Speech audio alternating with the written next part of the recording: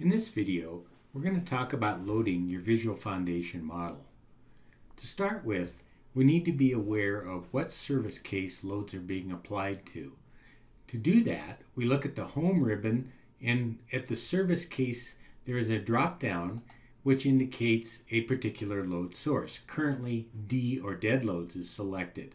Other load sources such as live loads, wind loads, seismic loads are listed here.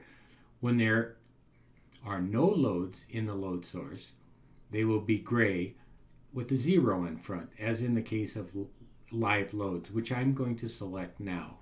So any loads I place on my model in this case will be applied to the live load service case. To apply loads to objects like piers and walls, we simply select them and then take a look at the loads ribbon. We have an option to apply load. And when I do that, a load gets applied, in this case, to the top of a pier. And currently its vertical force is 1 kip. I could change that to 10 kips.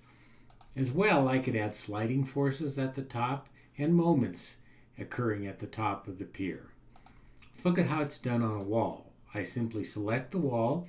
I could hit the apply load button or as well I can use the right mouse button and hit apply load, which I've done. And now the load is applied, in this case as a resultant of one kip. That load is, is applied as a distributed load across the top.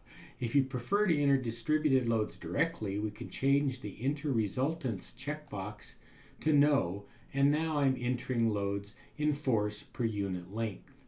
In addition to entering loads in the global direction, I can also enter them in the local direction. When I select local, I have the option for sliding force parallel to the wall and perpendicular, and moment parallel and perpendicular to the wall.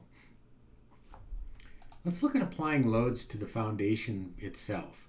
If I select an area, in this case this particular slab, I now have an option to apply load, and when I do that, a uniform load will get applied by default.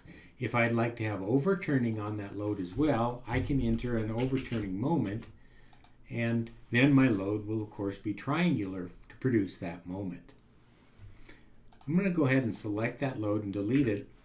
And another option I have for loads is to apply a multiple boundary load. And when I do that from the ribbon, we now see we have a load implied applied to the entire combined boundary of our foundation.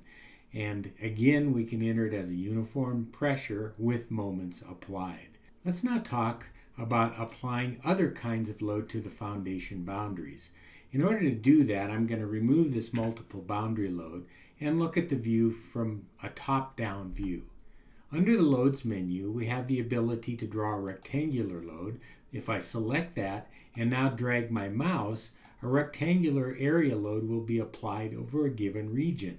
We can change the region's width as well as where it's centered at and its left and right boundaries. And also, like other slab loads, we could enter a uniform pressure as well as overturning moments. Similarly, I can draw a circular load. I can draw a tubular load, which is a load, say, around a perimeter, a rectangular perimeter and I can draw a ring load. So that represents the four different kinds of boundary type loads you can apply. Let's rotate the model just a little bit and see a maybe a better graphical view of those loads we just created.